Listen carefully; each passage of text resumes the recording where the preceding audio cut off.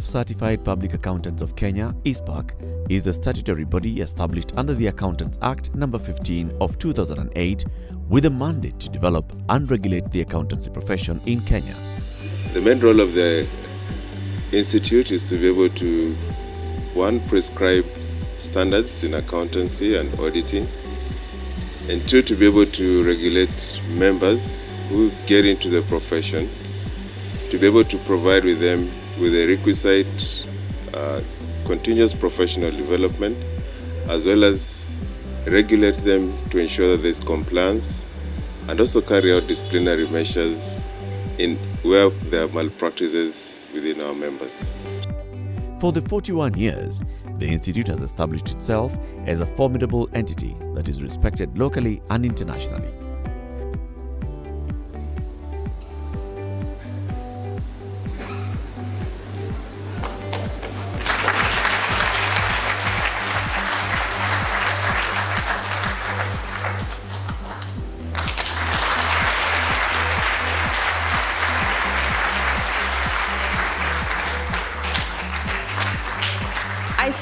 Extremely humbled and privileged to stand in front of you here today to accept this great honor and that you have bestowed on me when you voted me as your 23rd um, chairman or chairperson just over one week ago. So, my investiture today is really historic as a second um, woman chairperson of um, this institute. The governance of the Institute consists of 11 member council. Out of 11 members, 3 members represent the following institutions. FCPA Dr. Nicholas Letting represents the Kenya Accountancy and Secretaries National Examinations Board. FCPA Wycliffe Shamia represents the Capital Markets Authority. CPA Jonah Walla representing the National Treasury. And Ms. Damaris Kimosop represents the interest of other professionals. The Institute has two statutory committees, namely the Disciplinary Committee chaired by FCPA Charity Moya and the Audit and Quality Assurance Committee currently chaired by FCPA Dr. Jim McFie. The, uh, the Institute has a disciplinary committee. If one of our members does not do his work as he should do, if he fails in doing his work properly, then this will actually be referred if the person so wants it uh, to be the case.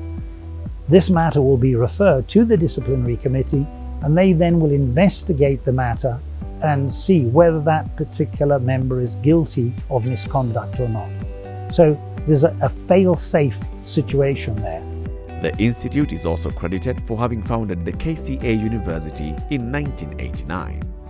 And there are a number of achievements that we've been able to achieve within the last 40 years.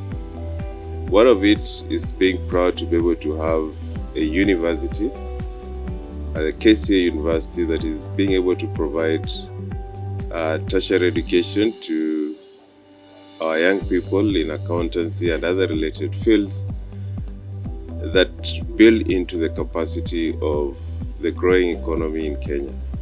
KCA is lucky to be the first university in Africa founded by professional public certified accountant. Uh, that is very, very important relationship we have had. We are much more independent now as a university, but the relationship con- con- con- exists very strongly with ICPAK uh, because we will continue working very much together. The learning environment in KCA University is very comfortable. First of all, because we have classes that fit students, a good number of students. We don't have to struggle to listen to the lecturers. We have personal interaction with the lecturers. Um, we are able to get our assignments on time, our cuts on time, because the lecturers don't have to struggle with marking large numbers of papers. We have the appropriate number of students that is adequate to get the best education that one can get. ICPAK is also a proud owner of CPA Center, a 12-story edifice located at Ruaraka area along Thika Road. The CPA Center houses ICPAK headquarters and other tenants including the Kenya Leather, the National Hospital Insurance Fund, PSASB, among other private enterprises. The Institute's current membership portfolio stands at 394 members who are serving in both public and private sectors as practitioners and general accountants. To keep members abreast with professional dynamism, the Institute organizes CPD events throughout the year. As a protector of public interest, the Institute robustly engages critical stakeholders on matters accountability, finance, and policy. We've also participated in legislation and uh, policy formulation. Um, we ICPAK continues to be a key contributor um, during the formulation of legislation and um, in this particular year we have uh, submitted views and enriched the following documents including the bu budget policy statement, the finance bill, the public finance amendment bill, and um, the statute law amendment bill. And we continue to provide um, a lot more input. We have regular engagement with the National Treasury. We have regular engagement with the Office of the Auditor General, with the Office of the Controller of Budget, with um, KRA. Um, we have, um, you know, regular engagement with all these um, bodies. In terms of the fight against corruption and whistleblowing, I think when I think about it, today our country is in the midst of a fight. We're fighting for the soul of our country and the future that we will bequeath to our children. Today, in our midst, um, we have um, some of our members who've chosen to whistleblow um, against practices that were that they felt were unacceptable. We um, have CPA where we're expecting to have CPA Spencer Ololchike and CPA Wilberforce Serem. I'm not sure if they're in the room or not, or they, they are there. Please stand up so that we can um, recognize you and honor you for that, um, for the courage that you've shown. Thank you very much. Great leadership is going to be achieved by hard effort. And we only see the results after the hard effort. Members, may I call upon FCP Edward Ouko just for five minutes to give us a snapshot of eight years in five minutes before we move to the next. Over and above all, the most challenging thing was to say that there was going to be a difference, to make a difference, and to make that the eight years, and as I speak here, I can say that I think the eight years, there was a difference. And the difference was the transformation journey which one had to be committed to. The Institute has taken a lot of interest in the devolution agenda, a fact that has seen it establish nine physical branches across the country. The branches include Coast Branch, Nyanza Branch, Western Branch,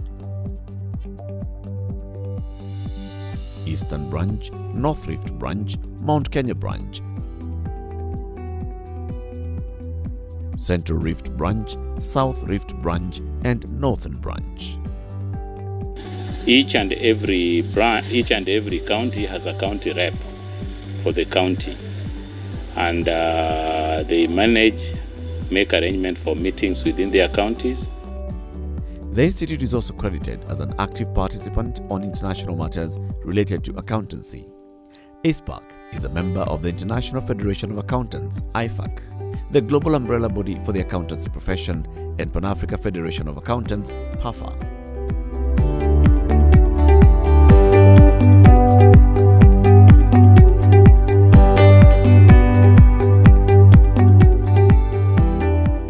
Additionally, ICPAK has established international chapters in the United Kingdom, South Africa, and Australia. The establishment of these chapters has given rise to a mutual beneficial relationship with accounting bodies in these countries.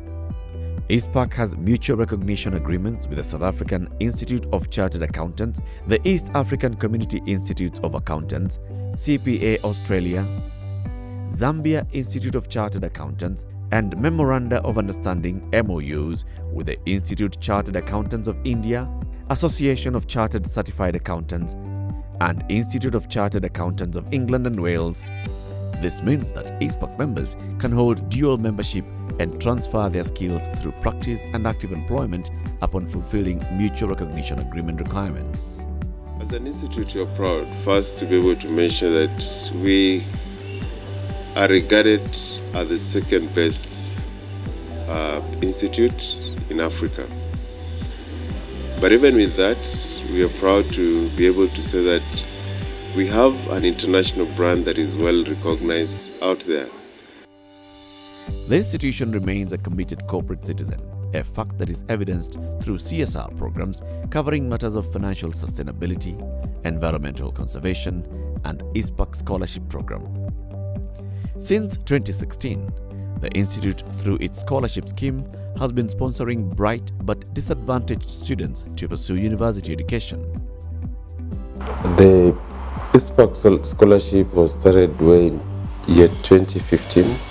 Eight students have been able to benefit from the program, three of which have gone through the full university program and been able to graduate from the universities. Five of them are still at the university and we still are supporting them. It's a full scholarship. I'm Jacob Kemathi M.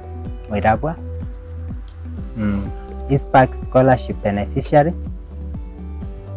I'm currently at Technical University of Kenya, pursuing BCom accounting option than dear student.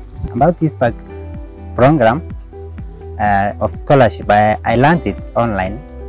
Then uh, I applied and I just got the forms and I applied. After like two months, I got a call and I was told I and what was so happy.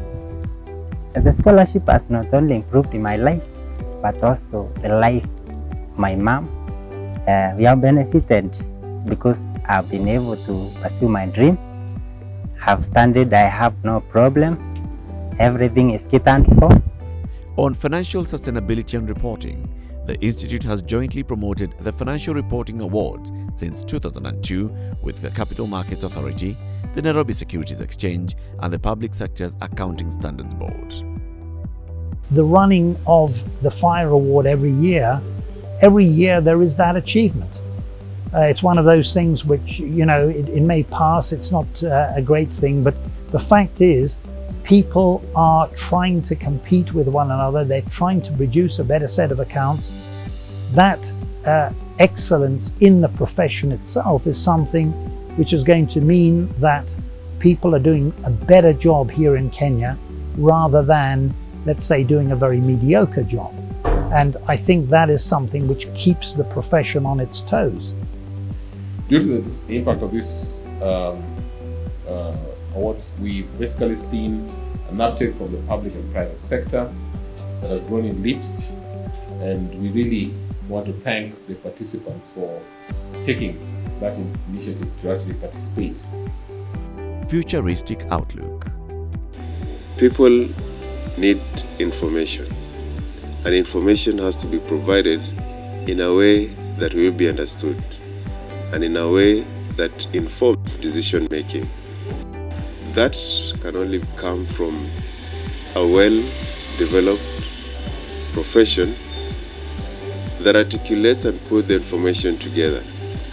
And as a, as a profession, we are proud that this is a profession that informs any other decision, whether you're looking at budgets, whether you're looking at dividends, whether you're looking at financial statements, or whether you're looking at the operations of any given entity.